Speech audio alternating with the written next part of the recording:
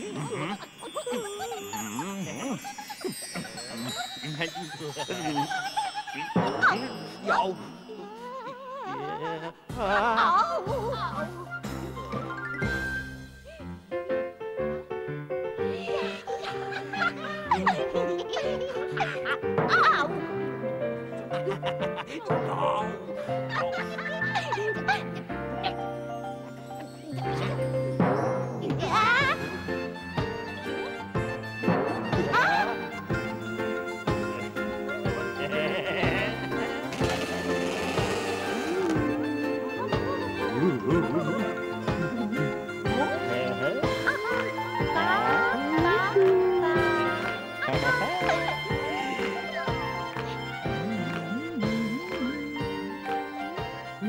Exponát v múzeu hračiek láme rekordy návštevnosti. Veď kto by nechcel vidieť džina vo fľaši? jasné. Tento vzácný nález darovali do múzea dvaja skromní darcovia, ktorí nechcú byť ani menovaní. Jediné, na čom darcovia trvali, sú prísne bezpečnostné opatrenia, Áno. pretože ako tvrdili, džin môže byť nebezpečný pre každého dobráka, ktorý by ho chcel vypustiť z fľaše. Správne. Áno. Mali aj veľkí návštevníci oceňujú aj nápad riaditeľa múzea, aby džin rozprával všetky svoje dobrodružstvá. Príďte, neolutujete. Len dúfam, že ich džin nebude hovoriť nudne, lebo tam všetci pospia. No, ty Ela, ale to by bolo dobré riešenie pre tých dvoch chalanov. Aké riešenie? A pre akých chalanov? No čo nemôžu zaspať? Písali nám do poradne. Poď. Aj, Aha, tu sú. Ahoj, Ela Ahop, volám sa Ondro, som z Nitry. Mám problém. Keď idem večer spať, neviem zaspať. Čo mám robiť? A tu je ten druhý. Chodím neskoro spať. Juro z Veľkých Levár. No, nechaj to na mňa. Ja to vybavím. Dobre. Milý Ondro, milý Jurko, ak nemôžete zaspať, poproste rodičov, aby vám čo najnudnejšie čítali rozprávky z vašich knižiek. Nebudete ani vedieť ako a zaspíte sladko, jas, dva. Tak, to by sme mali. No, tak sa aspoň môžem venovať ďalším problémom. Od Vianoc ich prišlo neurekol. Pozri, tento. No. Aha. Alebo aj tento. To. Počkaj, počkaj. Hm, prišla nová pošta. Ukáž to. Ahoj, ja som Peťa. Keď mi rozpráva rozprávky babička, zaspí skôr ako ja a ešte k tomu začne chrápať. A to už nezaspím vôbec. Poradte čo si iné. Mm, keď niekto chrápe, No, to je naozaj veľký problém. Človek No. potom len tak leží v posteli, Hm. len tak pozera do plafónu a len tak počúva niekoho chrápanie. Hm? Tak nech toho niekoho zobudí a pošle ho spať inám. A čo keď sa ten niekto len tak zobudiť nedá? No tak to je potom zlé. To teda Hm. je. No počkaj, ale ak nemôže zaspať, tak nech nespí. Mal by to nejako využiť. Ako? Nech robí nejaké zaujímavé nočné zamestnanie. Napríklad pekára. Hm? A bude v noci piecť čerstvý chlieb. Alebo policajta. A bude v noci naháňať po uliciach zločincov. Alebo zdravotného brata. A bude v noci liečiť chorých pacientov. Ale hop, to nejde. Prečo? Jurko a Ondro sú deti a deti predsa nechodia do zamestnania, ale do školy. To je ono, Ela, ty si hlavička. Nech Ondro a Juro chodia do nejakej špeciálnej nočnej školy. No taká existuje? Že váš?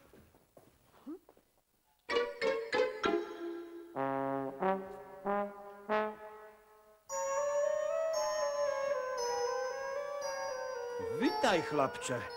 Teba som tu ešte nevidel. Dobrý deň. Vlastne, dobrá noc. Žiaci, zaveste sa.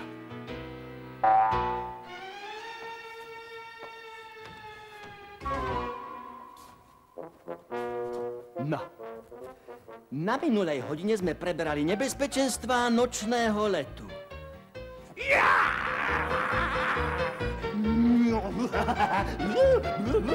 Takže na čo si musí dávať netopier pri lietaní pozor? Prosím, prosím, ja viem. Počúvam. Na hlavu. A ešte? E, prosím, ešte na elektrické stĺpy, vysoké stromy a, a dlhovlasé dievčatá. Hmm, áno, správne. A dnes v noci si to aj precvičíme, takže povystierajte si krídla a dáme si 10 kôl okolo starej lipy pri kostole. Pán učiteľ, ale ja, ja nemám krídla. Čo? Mm. Máš šťastie, že si tu nový.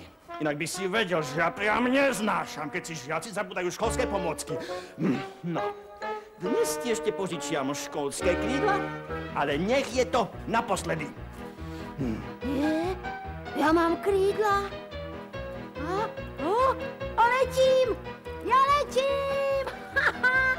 letím! Uú, uú, letím!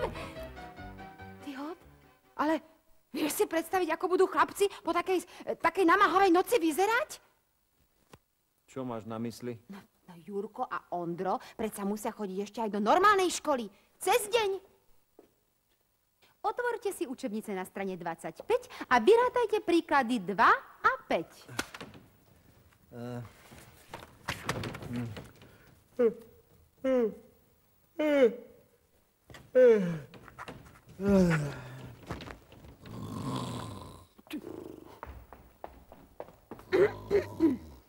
Jurko, stávaj. Byť, bylina, bystrý, byť. Jurko, stávaj. Čo? Teraz nemáme hodinu slovenčiny, ale matematiky. Čo si robil večer? Lietal som. No, určite. Už mám tých výhovoriek dosť. Prosím si žiackú knižku.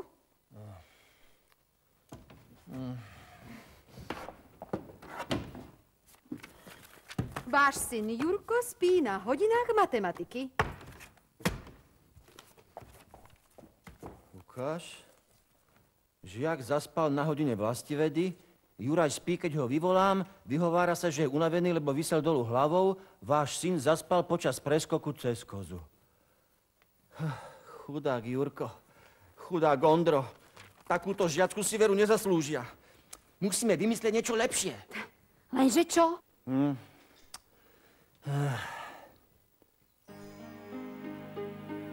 Ty, Ela,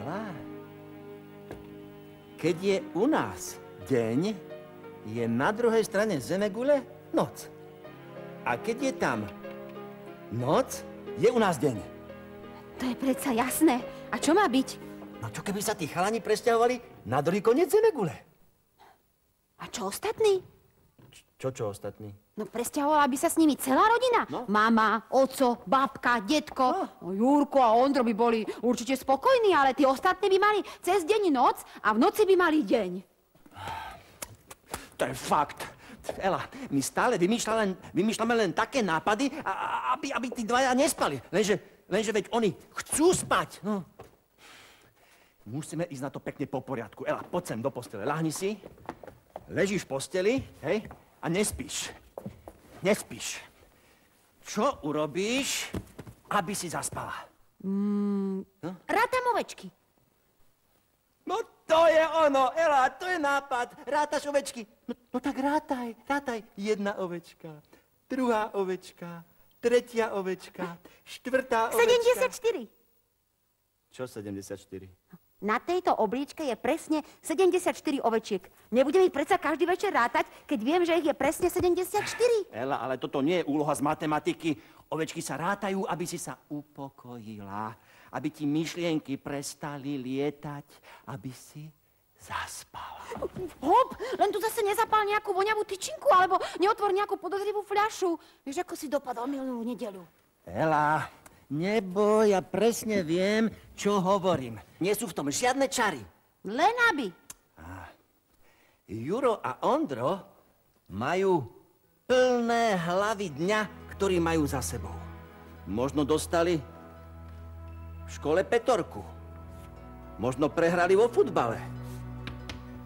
Alebo sa im pokazilo obľúbené autíčko. Chlapci si musia hlavy vyčistiť. Zbaviť sa myšlienok, ktoré im lietajú hore-dolu. Takže uvoľnite sa. Výborne. Zatvorte oči a predstavte si pieskovú pláž pri mori. Ležíte vo vyhriatom piesku pod palmou. Vlnky žblnkocú, slnečko príjemne hreje a more šumí a šumí a šumí. Juro, Ondro, videli ste to? Recept zabral, vyskúšajte ho. A vy ostatní píšte nám aj naďalej svoje problémy a ťažkosti na adresu poradna zavináč stv.sk.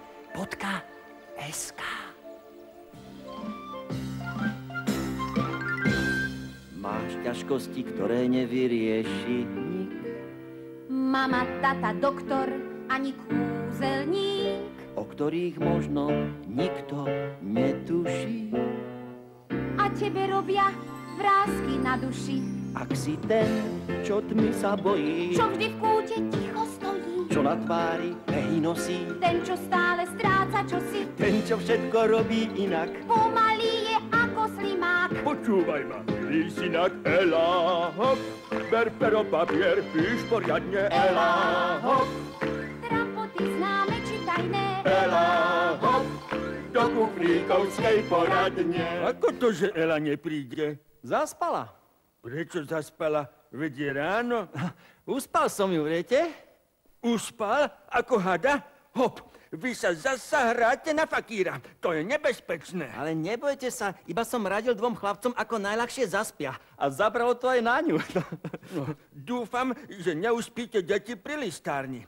Viete čo? Ja vám pomôžem. Ale to nemusíte. Nemusím, ale chcem. No, pozrime sa, čo sme to dostali. Aký zlatý malý slimáčik. Vyrobil ho Filipko Príšť s mamičkou, lebo on je tiež ešte maličký a zlatý. A tuto, aha, koľko je tu slimákov. A som medzi nimi aj ja. A je tu pre mňa aj báseň. Maxik stratil ulitu, prišiel ku nám do bytu. Na skrini sa skrýval, sem tam nôžkou kýval. Maxik, nekryj chrbáčik, daj si radšej šalátik. Pán Maximilian, ale dostali sme aj iné veci. No viem, stoličky pre mňa. Dianka Malenčíková vyrobila na stoličku vankúšik a pod stoličku koberček, aby mi vraj neprechladol zadoček a noha. Je vraj vhodná pre poštárov, lebo sa zmestí do obálky.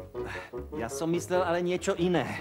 A veď áno, a, aj iné stoličky som dostal. Sú ich plné tieto katalógy. Prelistujte ich, hop, ja nemám ruky. No. Áno, Dominika Prousková mi poslala historické stoličky z doby Maximiliana III. urodzeného, e, či e, Kufríka I.